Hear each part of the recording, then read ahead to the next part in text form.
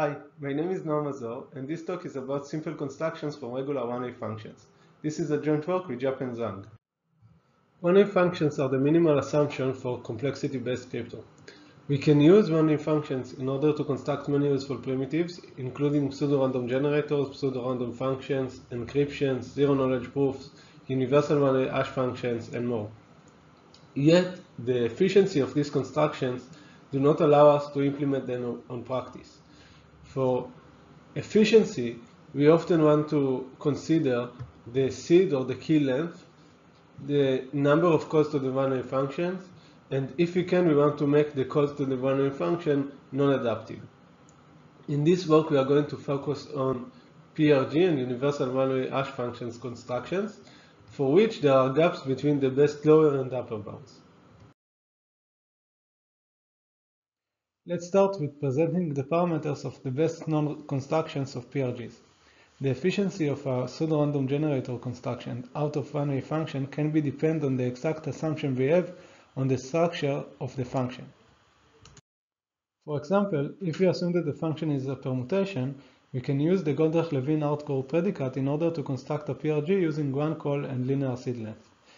If we only assume that the function is regular, meaning that every image has the same number of pre-images, we can construct a pseudo-random generator using omega of 1 calls and omega of n seed length. This is by generalize the uh, above constructions from permutation. However, in order to implement this construction, we need to know the regularity parameter r, or the number of pre-images every image has. If we do not know this regularity parameter, we say that the function is unknown regular. And in this case, the best construction we have uses linear number of adaptive calls to the one-way functions and linear seed length. This is due a work of Haitner, Harnik, and Reingold that uses a method called randomize iterate introduced by Goldreich, Krawczyk, and Luby. Yuli and Weng later improved the seed length by a log factor with a minor cost in the call complexity by using a different but yet similar approach that converts any unknown regular function into a non-regular function on a different domain. Lastly, Håstad, Impagliazzo, Levin, and Luby showed that any one-way function can be used in order to construct pseudo-random generators. The parameters were improved by Haitner, Reingold, and Vadhan, and Vadhan and Zheng, up to n cube calls and n cube seed length in the case that the calls are adaptive, Oh, or n to the fourth seed length in the case that the calls are non-adaptive. Before moving on to presenting the best constructions of universal one-way hash functions from one-way functions, let me remind you what an universal one-way hash function is. So this primitive is a family of functions indexed by a key k, such that the functions are shrinking, and yet it is hard to find a collision, meaning that for every x with high probability on the key k, it is hard to find x prime such that ck of x is equal to ck of x prime. So if we want to construct a universal one-way hash function out of one-way function, and we know that the function is a permutation, we can do it using one call to the function and key of linear size. And as in the PRG case, this can be generalized to hold for regular one-way functions.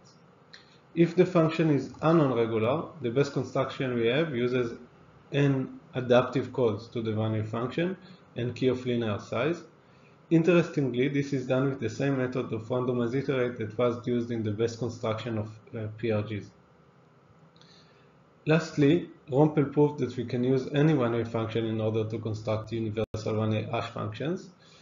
And uh, Haitner, Holenstein, Reingold, Vadhan, and V improve the parameters up to n to the 7 key length and n to the 13 calls.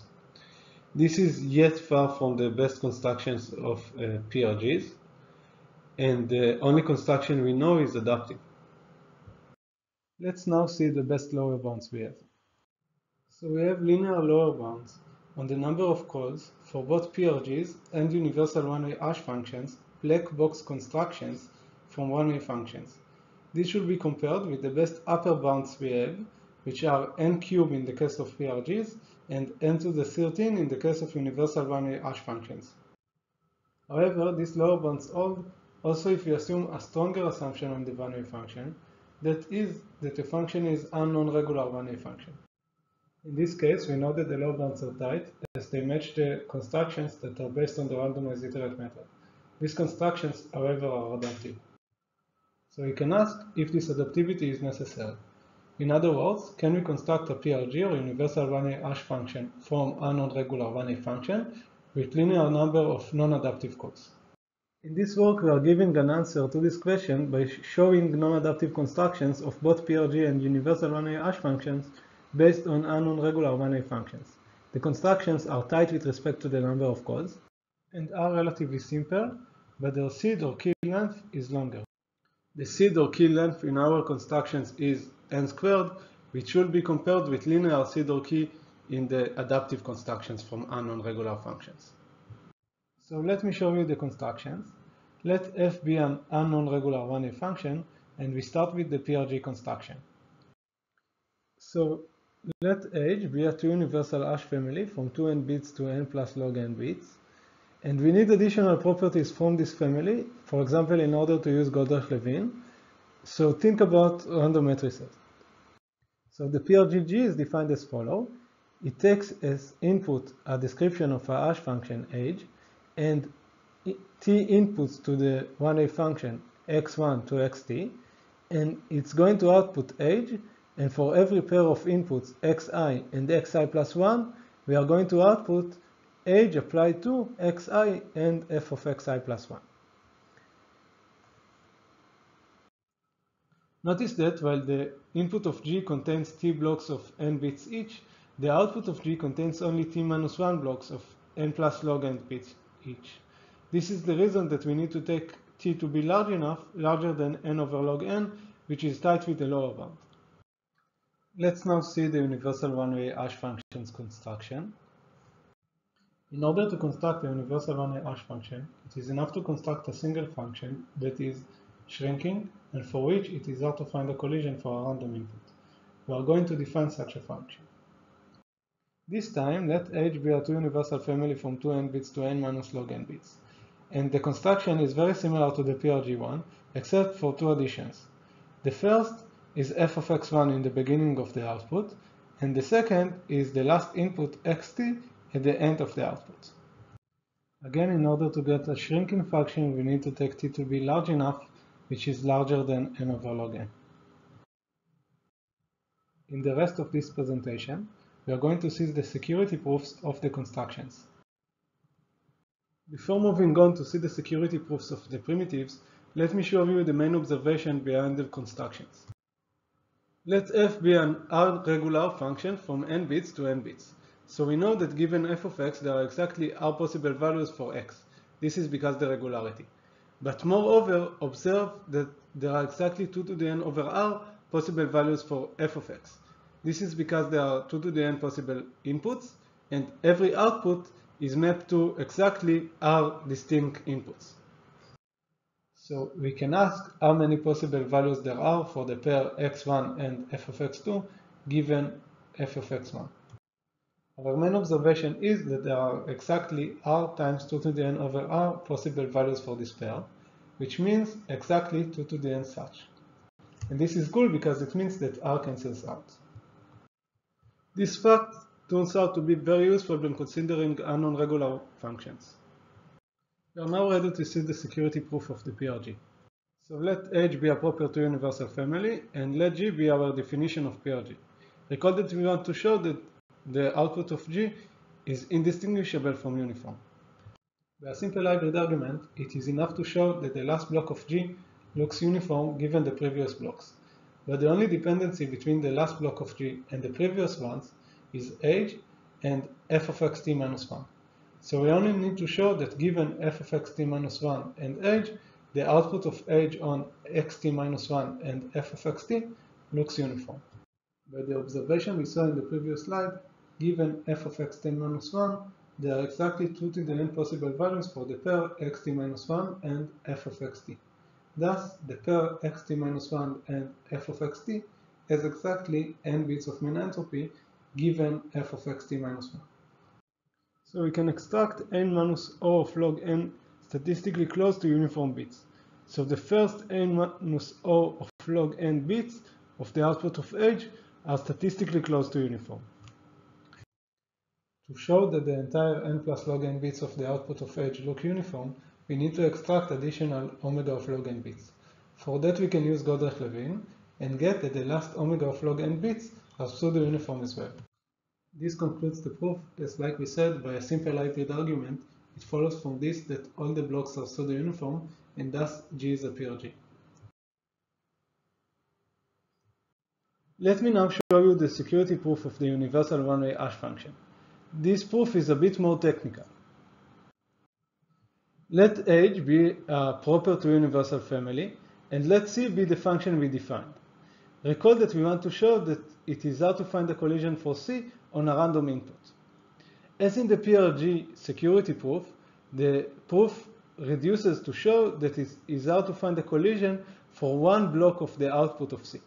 That is, given age x1 and x2, it is hard to find x1 prime and x2 prime such that f of x1 is equal to f of x1 prime and age of x1 and f of x2 is equal to age of x1 prime and f of x2 prime. We will call such x1 prime and x2 prime a collision for age x1 and x2. We should also require that f of x2 is not equal to f of x2 prime, as otherwise it may be easy to find such a collision, but I'm going to ignore it for this talk.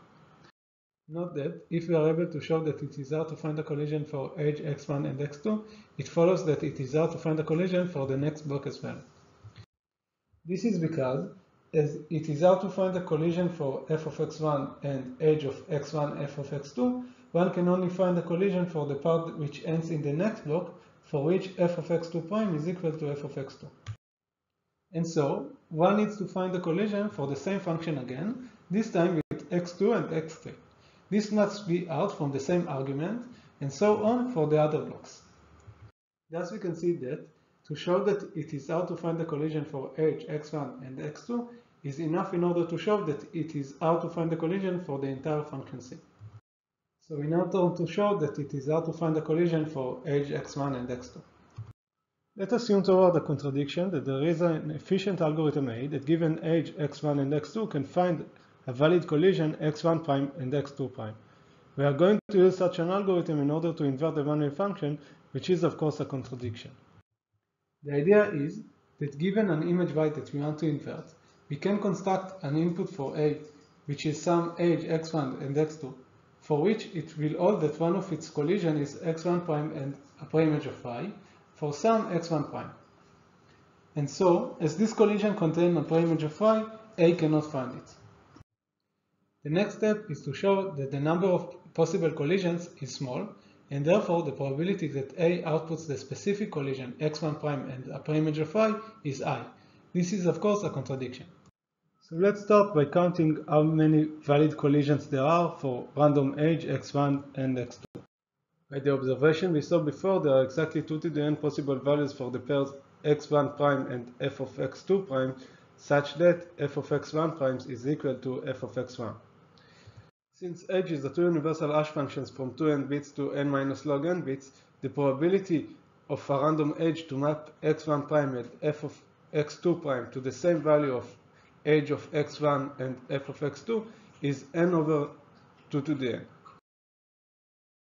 So we have 2 to the n possible values for the pair x1 prime f of x2 prime such that f of x1 is equal to f of x1 prime.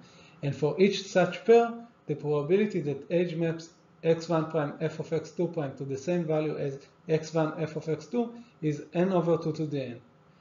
Overall, on average, we have n such values that collide with age x1 and x2.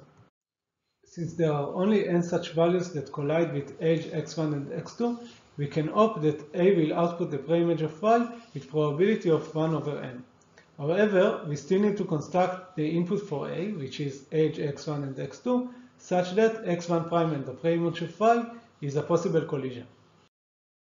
To do so, we also need to use A. So overall, we are going to use A twice. Once in order to construct the input, and in the second time in order to find the preimage of y. So let's now see the inversion algorithm. So the inverter gets as input an image y that we want to invert. And in the first step, it is going to choose a random hash function h and random x1 and x2. Next, it is going to apply a on age x1 and x2 in order to get x1 prime and x2 prime. Now x1 prime is a pre-image of f of x1. In the third step, the inverter is going to choose h prime such that h prime on x1 and f of x2 is equal to h prime on x1 prime and y. So x1 prime in the pre-image of y is a valid collision for h prime, x1 and x2. Next, the inverter applies A on h prime, x1 and x2 in order to get x1 double prime and x2 double prime. If we are lucky, x1 double prime is equal to x1 prime, and in this case, x2 double prime is a pre-image of y. So we are going to output x2 double prime. In the paper, we are able to show that x1 prime and x1 double prime are equal with non-negligible probability, which concludes the proof. To conclude, in this work we introduced uh, non-adaptive constructions of both PRGs and universal one-way hash function from a non-regular one-way function. The constructions are simple and are tight with respect to the number of calls, but uses long seed or key. Lastly, we have a few open questions. The first one is, is the input length in our constructions optimal? In other words, can we construct a PRG or universal memory hash function with a linear number of non-adaptive calls and yet to use only a linear seed or key length? The second question is can we find a better constructions of universal one-way hash functions from arbitrary one-way functions? Maybe to get the parameters to be closer to the best constructions of PRGs or to, to construct a universal one-way hash function without using adaptive calls. The last question is to find better lower bounds for both PRGs and universal one-way hash functions constructions. Thanks.